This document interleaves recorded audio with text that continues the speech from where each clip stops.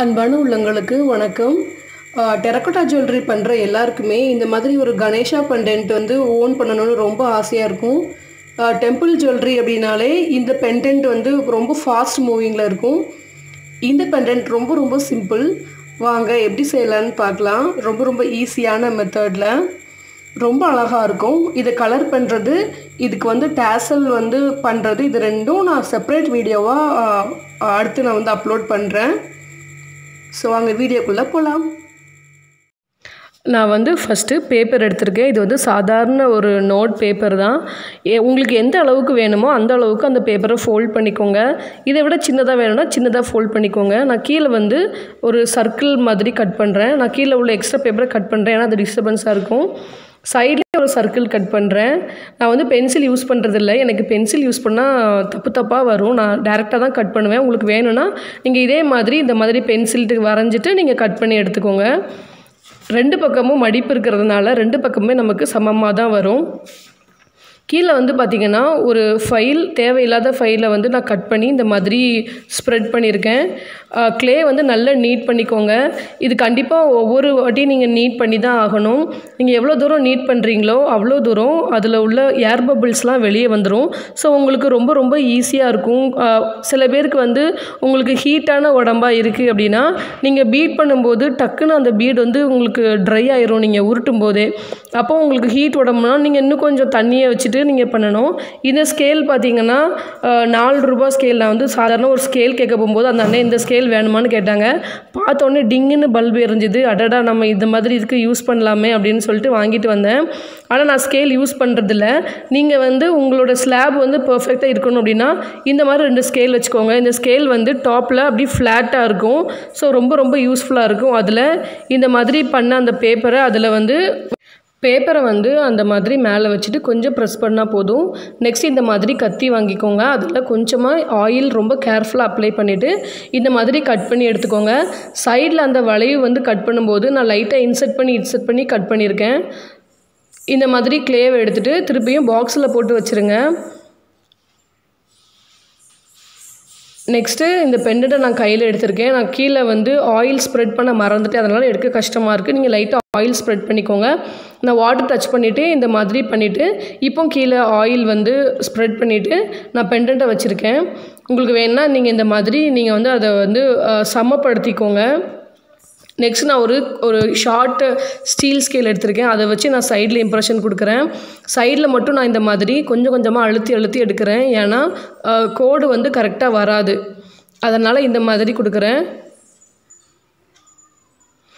உங்களுக்கு வேறு எந்த டூல் இருந்தாலும் நீங்கள் அதை வந்து யூஸ் பண்ணிக்கலாம். நம்ம எந்த பொருளை எப்படி யூஸ் பண்ணுறோம் அப்படின்றதுல தான் இருக்குது நீங்கள் கடையில் தான் வாங்கி யூஸ் பண்ணணும்னு அவசியம் இல்லை.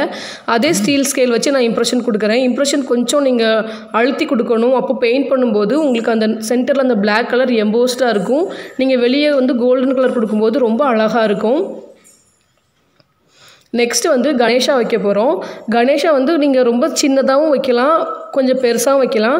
நான் வந்து கொஞ்சம் பெரிய கணேஷாவாக தான் வைக்க போகிறேன் எனக்கு அப்படி இருந்தால் தான் பிடிக்கும். ரொம்ப குட்டியூண்டு கணேஷாவாக இருக்கிறத விட கொஞ்சம் பெருசாக இருக்கிறது ரொம்ப பிடிக்கும். ஸோ ஹெட்டு வந்து பார்ட் செய்கிறேன் ஹெட் பார்ட் செய்யும்போது கீழே நான் வச்சு பார்க்கும்போது கொஞ்சம் பெரிய ஹெட்டாக இருக்குது அதனால் நான் இன்னும் கொஞ்சம் சின்னதாக செஞ்சுக்கிறேன்.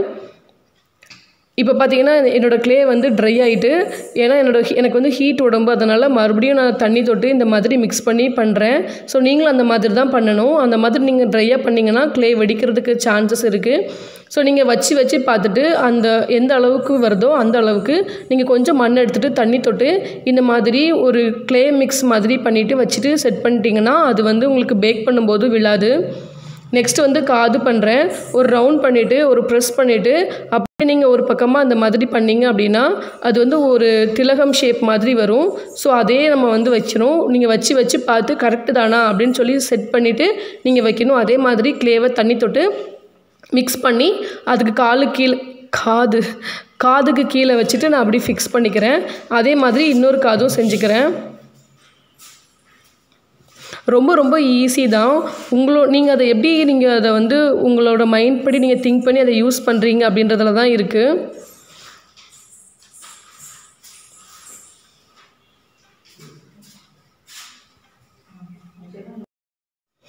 கைக்கு இந்த மாதிரி குட்டியாக ஒரு கேரட் மாதிரி பண்ணிவிட்டு நீங்கள் எட்ஜில் எட்ஜில் வந்து ப்ரெஸ் பண்ணிங்கன்னா இந்த மாதிரி ஒரு ஷேப் கிடைக்கும். ஸோ அதே மாதிரி ஒரு கம்பி வச்சுட்டு நான் வந்து ஹேண்ட் மாதிரி பண்ணிக்கிறேன். ஸோ நீங்கள் வந்து எந்த பார்ட்டை நீங்கள் ஃபிக்ஸ் பண்ண போகிறீங்களோ எந்த இடத்துல ஃபிக்ஸ் பண்ண போகிறீங்களோ ரெண்டு பக்கமுமே இந்த மாதிரி ஸ்க்ராட்ச் பண்ணணும். அப்போ தான் அது வந்து கரெக்டாக உங்களுக்கு ஃபிக்ஸ் ஆகும். அதே மாதிரி இன்னொரு கையும் நான் இந்த மாதிரி ஃபிக்ஸ் பண்ணிக்கிறேன். இன்னொரு விஷயம் கை வந்து ரொம்ப நீட்டி இல்லாமல் நான் வந்து பெண்டன்ட்டோடு நான் வந்து நல்ல சப்பி அப்படி வைக்கிறேன். ஏன்னா அதை வந்து நீங்கள் யூஸ் பண்ணும்போதோ இல்லை பேக் பண்ணும்போதோ இல்லை பாக்ஸில் வந்து போட்டு செக்யூராக வைக்கும்போதோ உடஞ்சி போகிறதுக்கு நிறைய வாய்ப்புகள் இருக்குது அதனால் இந்த மாதிரி நான் வந்து ரொம் கொஞ்சம் பார்த்திங்கன்னா நல்லா ப்ரெஸ் பண்ணி நான் வைக்கிறேன். அது ரெண்டு கையின்னு தெரியணும் அவ்வளோதான் அதுக்காக தான் நெக்ஸ்ட் வந்து கால் பண்ணிக்கலாம். காலுக்கு இந்த மாதிரி கேரட் மாதிரி பண்ணிவிட்டு சைடில் ஒரு இம்ப்ரெஷன் கொடுத்தீங்க அப்படின்னா அப்படியே வளைஞ்சிரும். ஸோ இதை வந்து நான் காலுக்கு வைக்கிறேன். ஸோ காலுக்கு வச்சு பார்த்துட்டு எந்த இடத்துல அந்த கால் பதியுதோ அந்த இடத்துல மட்டும் க்ராச் பண்ணிவிட்டு அதே மாதிரி காலையும் க்ராச் பண்ணிவிட்டு அதே மாதிரி அந்த அந்த க்ளே பேஸ்ட்டை வந்து வச்சுட்டு மறுபடியும் அதை அதில் வந்து ஃபிக்ஸ் பண்ணிக்கோங்க. ஸோ சைடில் வந்து நிறைய வச்சிங்கன்னா சைடில் வந்துடும் அந்த க்ளே பேஸ்ட்டு நீங்கள் நிறைய வைக்காமல் எந்த அளவு அவசியமோ அந்த அளவுக்கு வச்சா போதும். எனக்கு கையில் உள்ள க்ளே வந்து நல்லா காஞ்சிட்டு அதனால் நான் ரவுண்ட் பண்ணும்போது பர்ஃபெக்ட் ரவுண்டாக வரல. அதனால் நான் போய் கை கழுவிட்டு வந்திருக்கேன். இந்த மாதிரி நிறைய சின்ன சின்ன விஷயங்கள் தான் கவனிக்க வேண்டிய விஷயம். அதை மட்டும் நீங்கள் கவனிச்சிட்டிங்கனாலே போதும் ரொம்ப அழகாக இருக்கும். ஸோ இப்போ இந்த காலையும் நான் இதோட அட்டாச் பண்ணி வைக்க போகிறேன் ஸோ வச்சு வச்சு பார்த்துட்டு எந்த அளவில் உங்களுக்கு வந்து அதை ஸ்க்ராட்ச் பண்ணணுமோ அந்த அளவுக்கு ஸ்க்ராட்ச் பண்ணிவிட்டு அதே மாதிரி ஃபிக்ஸ் பண்ணிடுங்க நிறைய வச்சிங்கனாலும் உங்களுக்கு வெளியே வந்துடும் அந்த அந்த அந்த க்ளே பேஸ்ட்டு ஸோ இது என்னன்னு பார்த்தீங்கன்னா என்னோட லாக்மே கோல் காஜல் அதில் வந்து பின்னாடி இந்த ஸ்மட்ஜர் கொடுப்பாங்க. ஸோ அதை பார்த்த உடனே நான் அதையும் விடலை எடுத்து வச்சுருக்கேன். ஸோ இந்த மாதிரி தேவையான டைமில் இந்த மாதிரி வள்ளு வள்ளுன்னு மாற்றுறதுக்கு இந்த ஸ்மட்ஜர் யூஸ் ஆகும். நம்ம வந்து எந்த ஒரு பொருள்னாலும் கடையில் போய் வாங்குறத விட்டுட்டு நம்மளை சுற்றி என்ன பொருள் இருக்குது இப்போ நீங்கள் வந்து ஒரு பிகினர் டெரக்கோட்டை ஆரம்பிக்கிறீங்க அப்படின்ன உடனே உடனே நிறைய நீங்கள் இன்வெஸ்ட் பண்ணக்கூடாது. ஃபஸ்ட்டு உங்களை சுற்றி உள்ள பொருட்களை வச்சு என்னென்ன நீங்கள் யூஸ் பண்ணலாம் எப்படி எப்படி யூஸ் பண்ணலாம் அப்படின்றத மட்டும் நீங்கள் மைண்டில் வச்சுக்கிட்டு அந்தந்த பொருட்கள்லாம் நீங்கள் வந்து சேகரித்து ஒரு பெரிய ட்ரே வச்சுக்கோங்க.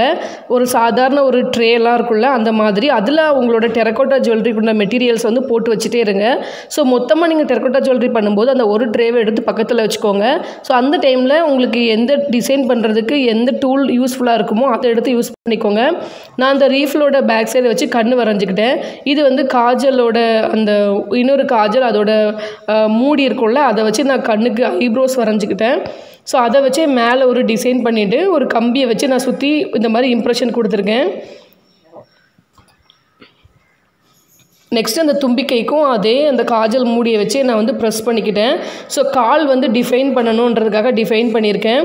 நெக்ஸ்ட் வந்து ஒரு மூடி வச்சுட்டு இந்த மாதிரி டிசைன் பண்ணியிருக்கேன். ஏன்னா அப்போ தான் அந்த வேஷ்டி அந்த அங்கவஸ்திரம் அந்த மாதிரிலாம் இருக்கும்ல. ஸோ அந்த ஒரு மடிப்பு வந்து தெரியுன்றதுக்காக இப்போ காது தனியாக தலையில் வச்சுருக்கிற கிரீடம் தனியாக நான் டிஃபைன் பண்ணியிருக்கேன்.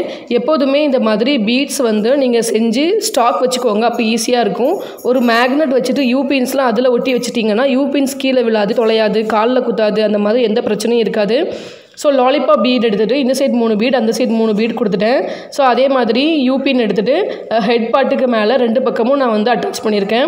ஸோ இந்த வீடியோ இந்த இந்த பெண்டன்ட்டோட பெயிண்டிங் ப்ளஸ் இதுக்கு வந்து ரோப் அட்டாச்மெண்ட் இதெல்லாம் நான் தனியாக ஒரு வீடியோ போஸ்ட் பண்ணுறேன் கண்டிப்பாக டேங்லிங் பீட் கொஞ்சம் பெருசாக எடுத்திருக்கேன். ஸோ யூபின்னு எடுத்துகிட்டு இந்த மாதிரி அந்த பிளேயரில் பிடிச்சிக்கோங்க. பிடிச்சிட்டு அந்த யூபின்னும் அந்த பீடோட பின்னும் சேர்த்து நீங்கள் வந்து அந்த பிளேயரில் வச்சுட்டு நீங்கள் ஃபிக்ஸ் பண்ணணும். அப்போ வந்து உங்களுக்கு பீடு வந்து டிஸ்டர்ப் பண்ணாது. ஸோ இந்த மாதிரி நான் ஃபுல்லாக கொடுத்துட்டேன். ஸோ கண் அந்த கருமணி வந்து டிஃபைன் பண்ணியிருக்கேன். ஸோ நெக்ஸ்ட் வந்து நான் ஃபுல்லாக இந்த மாதிரி டாட் டாட்டாக கொடுக்குறேன். இந்த டாட் டாட் கொடுக்கறதுக்கு நான் வந்து பென் ரீஃபில் எடுத்திருக்கேன். ஏன்னா அந்த டாட் வந்து நல்லா வலுவலுன்னு அழகாக இருக்கும். பெயிண்ட் பண்ணும்போது ரொம்ப அழகாக தெரியும்.